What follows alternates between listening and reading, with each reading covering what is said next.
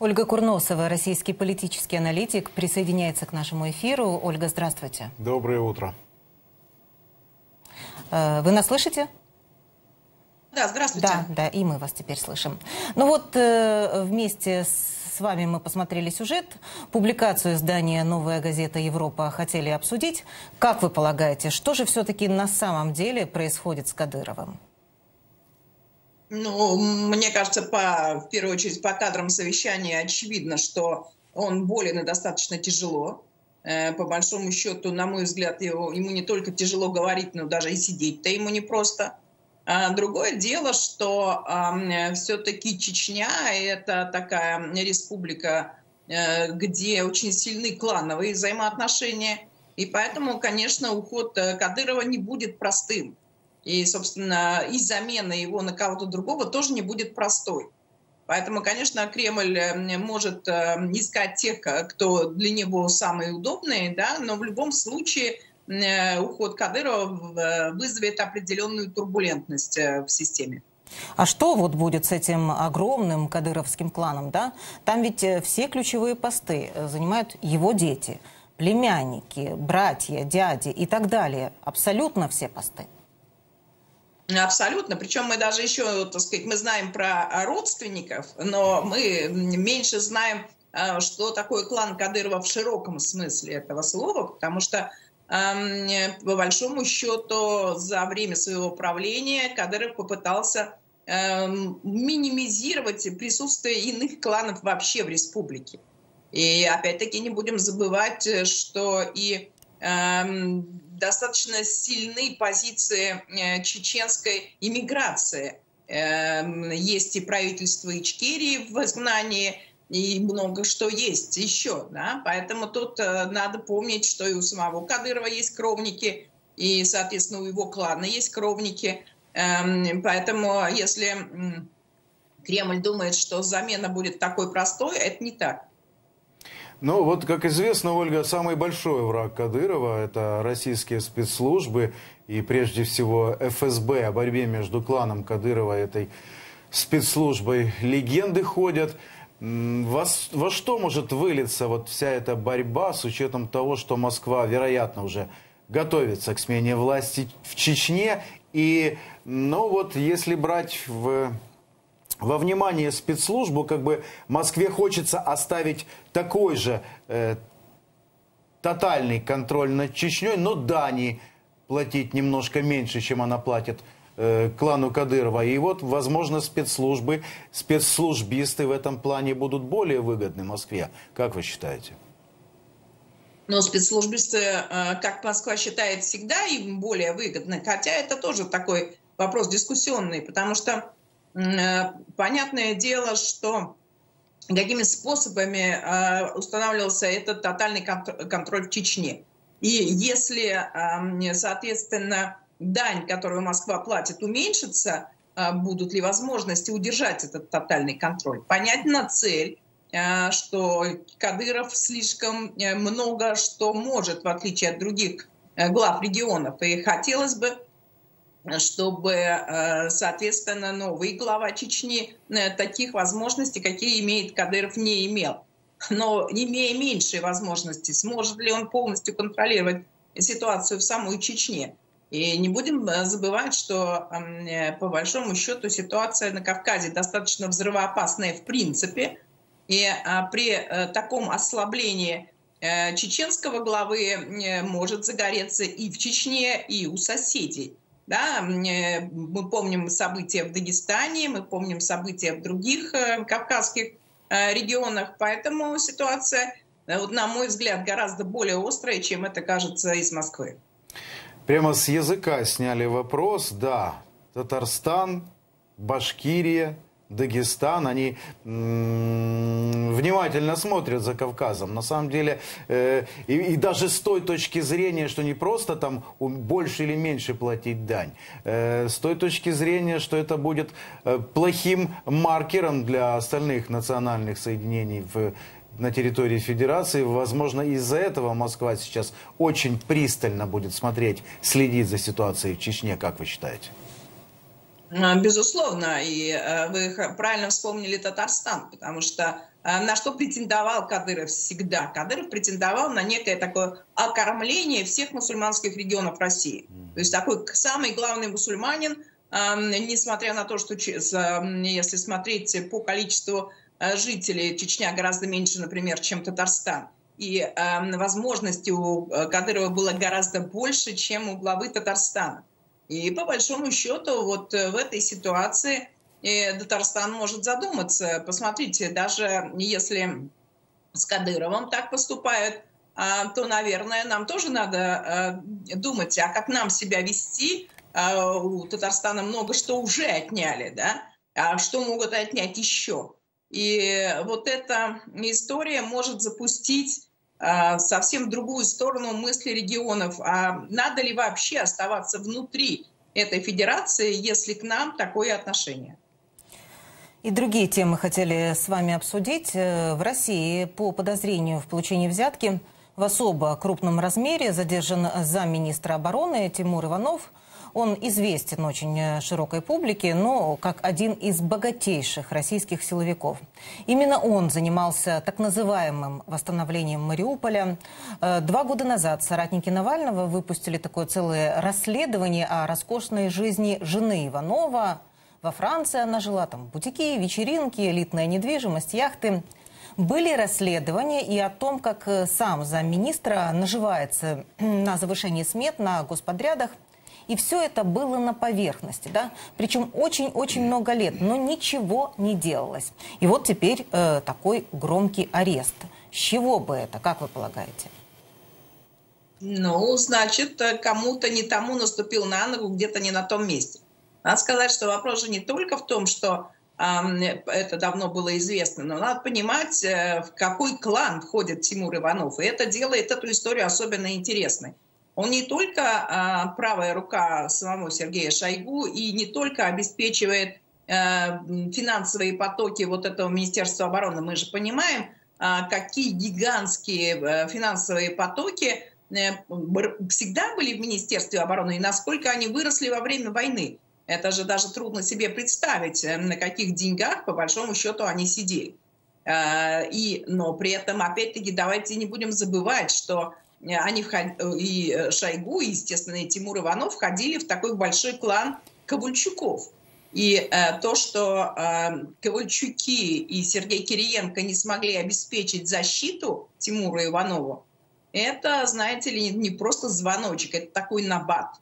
А, перед, э, почему именно сейчас, тоже понятно, потому что, собственно, после инаугурации Путина 7 мая а, будет переназначение правительства. И это нам дает а, вполне ощутимые основания считать, что Шойгу будут заменять.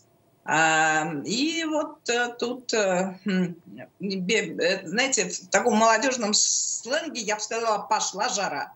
Да? То есть ситуация внутри элитная очень сильно накаляется.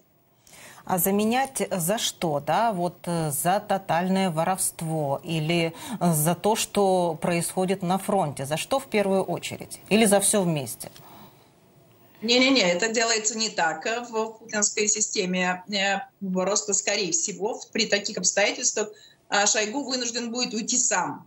Его никто не будет увольнять. А как в свое время ушел министр обороны такой Сердюков – Э, точно так же уйдет и э, Шойгу. Э, потому что увольнение – это очень сильный перекос. Именно поэтому, собственно, арестовывают именно Тимура Иванова. Но при этом все понимают, на кого, что называется, в чью папку все это положили. И, соответственно, остальные фигуранты должны поджать хвост и вести себя гораздо скромнее, потому что, скорее всего, вот эти другие фигуранты, как сам Шойгу, так и, возможно, даже и Ковальчук, и Кириенко, замахнулись на что-то, что им было не по рангу. И, соответственно, э, мы даже до конца не поймем пока, по крайней мере, почему именно арестован Тимур Иванов. Потому что он сам что-то сделал не так и наступил кому-то на ногу. Или кому-то на ногу наступил, условно говоря, Сергей Кириенко или Юрий Ковальчук. А, а соответственно, Тимура Иванова арестовывают, чтобы показать им, э, что они поступили не так, как должны себя вести. Ну вот э, вы уже упомянули, что российский диктатор готовится к инаугурации, она запланирована на 7 мая. И вот появилась информация, что накануне всем приглашенным э, сообщили, что им предстоит сделать э, ПЦР-тесты 6 числа, иначе их никуда не пустят. Ну вот эти коронавирусные ограничения уже почти два года как сняты, да? А почему, почему Путин все-таки так боится этой болезни? Зачем эти тесты? Он как сошел тогда с ума, так еще в здоровый глуст э, в, свою, в свой ум и не вернулся. По большому счету, это говорит о том, что у него есть какое-то достаточно серьезное заболевание другое, а, при котором у него понижен иммунитет и при котором ему а, очень опасно э, сталкиваться с какими-то такими вирусами типа коронавируса. И мне кажется, это практически доказывает, э, что он достаточно серьезно болен.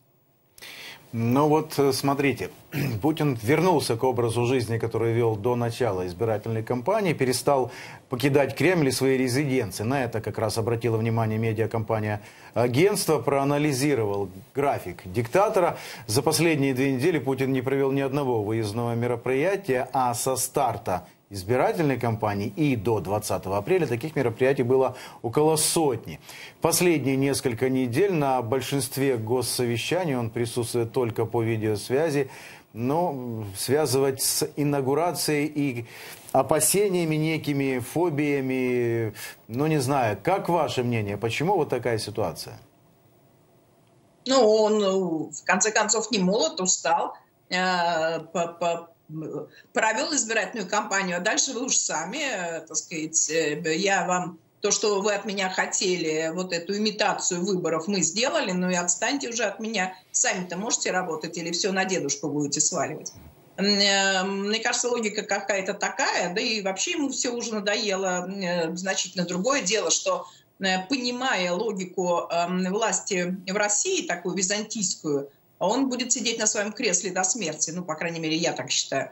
Э, и, но это не означает, что он должен тут, э, как раб на галерах, э, напомню, процитирую его же самого, все время работать. Есть специально обученные люди, пусть они всем и занимаются, а он вот будет он будет заниматься, знаете ли, разводками, разводящие. Вот какой-то клан усилился, клан Ковальчуков, бабах, Тимура Иванова посадили, надо понимать, что такой, такого рода арест без личной санкции Путина невозможен. И вот, это, э, и он сейчас будет заниматься тем, что он любит больше всего держать равновесие между кланами. Я думаю, что вот в этой борьбе за посты в новом правительстве а, Ковальчук слишком много себе позволял, слишком сильно давил на Путина и получил бонусу. Угу. В России хотят существенно расширить доступ полиции к данным о банковских платежах и телефонных звонках граждан. МВД подготовила поправки в Уголовный кодекс, которые обяжут банки без суда раскрывать полиции нужную информацию о переводах в трехдневный срок, а если запрос поступит э, в электронной форме, то за 24 часа. И кроме того, дознаватели получат полномочия блокировать любые операции по переводу денег на 10 дней. Как вы думаете, примут ли эти поправки? Если примут, к чему это может привести? Ну, если э, надо, так и примут. Мне кажется, что э, сегодняшняя Государственная Дума может принять все, что им скажут из Кремля. Э, понимаете, я просто уже не понимаю, куда еще закручивать гайки, но логика репрессивной машины, она такова, что закручивать гайки нужно все больше и больше. И, собственно, исходя из этой логики, вот эти вещи и происходят. Э, по большому счету, уже сегодня все, кто э, вносят эм, в список Росфинмониторинга, а туда вносят, я напомню, без решения суда, э, там вообще полностью блокируются все банковские операции. Ну, а тут еще вообще кому угодно можно заблокировать все банковские операции, ну, по крайней мере, на какое-то время. А там, глядишь, и навсегда заблокируют. Ну, и так-то эм, гражданского общества нет. Ну, а тут вообще, кто высудится, сразу по, так сказать, голову это и отрежут. Эм, ну, понятное дело, что ничего хорошего из этого не проистекает, но и в сегодняшней России вообще ничего хорошего. Э, трудно найти что-то хорошее. Да, и следующий вопрос как раз э, в продолжении того, что вы сказали. В России развернута очередная кампания против очередных врагов народа. Объектом э, травли Z-патриотов стали барды э, Сергей и Татьяна Никитины. И все после того, как появился анонс, что они примут участие в фестивале. Он называется «Возраст счастья», проходит в Черногории. И вот все эти паблики начали писать, что они принимают участие в антироссийском шабаше, что там собирают деньги на поддержку ВСУ. Никитиных требуют признать э, спонсорами украинской армии, спонсорами терроризма. Скажите, а что теперь э, будет с фильмами, да, где звучат песни Никитиных? Это «Москва слезам не верит», «Ирония судьбы». Их тоже они потребуют сейчас запретить, не выпускать? Но, опять-таки, вот э, Z-патриоты, они такие, что им все время нужен объект, объект для травли. Э, вот э, долго травили Аллу Пугачеву, Э, ну, видимо, нельзя все время только Пугачеву травить, надо на кого-то переключаться. Причем э, лучше всего травить э, кого-то, кто, ну, по большому счету, был каким-то символом своего времени, будь то и Алла Пугачева символ своего времени, безусловно, и Татьяна и Сергей Никитины тоже как своего рода символ э, того времени.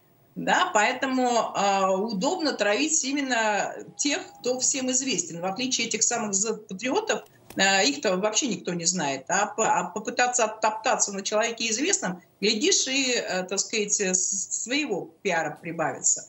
Э, но что они могут потребовать? Да все что угодно. И если слушать, э, чего требует Соловьев, он, он все время требует, чтобы э, пылал Париж, Берлин и Варшава. Поэтому, ну, а тут уж все на все Татьяну и Сергея Никитиных заклевать. Но это уж вообще по сравнению э, с горящими столицами европейскими прям мелочи.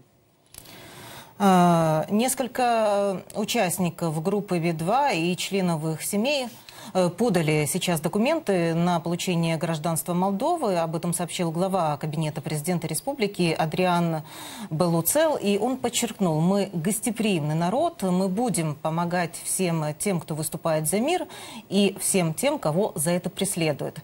Как вы прокомментируете такое решение музыкантов, да, и то, что э, Россия, по сути, каждый день практически теряет талантливых, успешных людей? Ну, по большому счету, на мой взгляд, было ожидаемо после э, того шабаша, который происходил, э, когда их пытались депортировать э, в Россию из Таиланда. И по большому счету самые большие проблемы были как раз у тех музыкантов, у которых было только российское гражданство. И то, что, собственно, администраторы группы стали искать выход из этой ситуации, и естественный выход – это получить другое гражданство для тех, у кого этого другого гражданства не было – но это вполне правильный с точки зрения э, здравой логики шаг.